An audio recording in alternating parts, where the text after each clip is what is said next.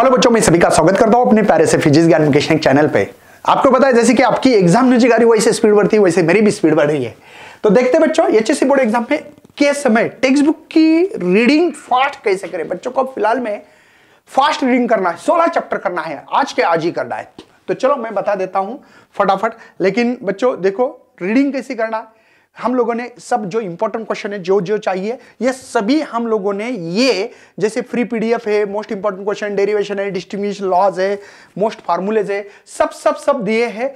कहा पीजीएमएन ऐप पे? पीजीएमएन ऐप को डाउनलोड करके आप लोग ने क्या, कैसे जाना है? सिंपल होम पे जाओगे पीजीएमएन ऐप को डाउनलोड करने के बाद, वहाँ पे थ्री लाइन दिखेगी, वहाँ क्लिक करो तो फ्री मटेरियल मिलेगा, यहाँ पे फिजिक्स आईएमपी ऑल पीडीएफ ऐसा मिलेगा। ठीक है? जो बच्चे सीटी की तैयारी करने वो सीटी में आ सकते फटक से। बुक कैसे रीड करना चाहिए यह मैं आप लोगों को बताता हूँ।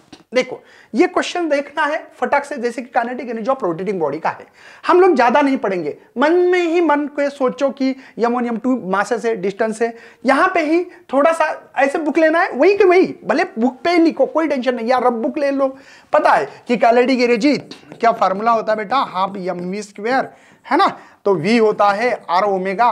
सर, मैं इसको ऐसा कर सकता हूँ क्या? लिखो भाई। वन बाई टू यम यहाँ पे आर स्क्वेयर ओमेगा स्क्वेयर। इसको आई बोलते हो। गया कि नहीं? Kinetic energy one by two इसको आई ओमेगा स्क्वेयर। कैसे फास्ट करना है? बस इतना ही।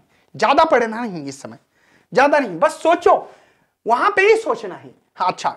चलो आगे जाते हैं। ऐसा बोल के सामने फटक से जाना। ज़्यादा मैं वही बोल रहा हूँ आप लोगों को कि ज़्यादा टेंशन मत लो। बच्चे क्या कर रहे हैं? बहुत टेंशन ले लेके कर रहे काम वैसे नहीं। यहाँ पे एक एग्जांपल पे तौर पे बोलता हूँ।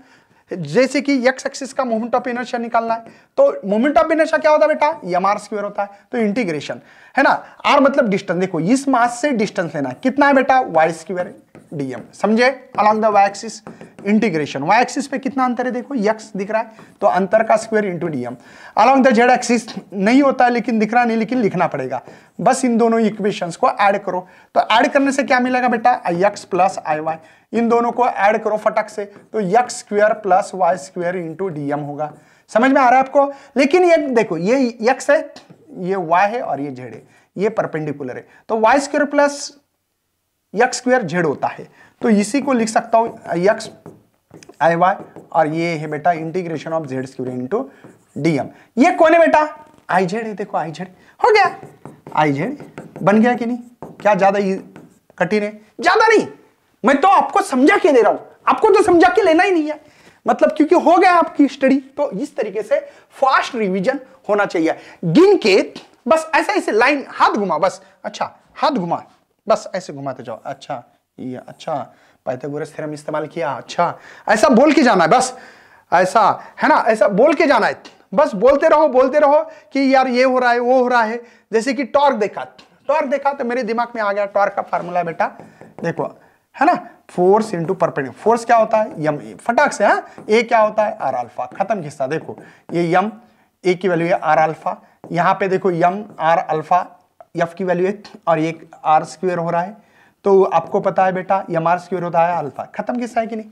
मतलब फास्ट इसी तरीके से फट फट बुक पे लिखो, जाने दो यार। आपको अच्छे नंबर मिल रहे हैं, आपकी अच्छी पढ़ाई होगी। बुक पे लिखो नोटबुक पे लिखो, लेकिन इस तरीके से ही फास्ट रिवीजन करना चाहिए। मैं किन के साथ बोलता हूँ? अगर आपकी अच्छी पढ़ाई होगी तो गिन के 15 मिनट टू 20 मिनट में ये रिवीजन होना चाहिए एज पर माई व्यू आप सोचो 15 मिनट में मतलब एक घंटे के अंदर तीन या चार चैप्टर होने चाहिए। तो आप सोच सकते हैं, सोलह चैप्टर हो सकते हैं। टेंशन मत लेना प्रेशर में मत आओ। जो नहीं आ रहा है, छोड़ दो। जो आ रहा है, उसको ऊपर ज़्यादा फोकस करो। तो चलो बाय जय हिंद, जय भारत। मिलते हैं अगले सेशन में, तब तक करता हूँ। Bye bye bye bye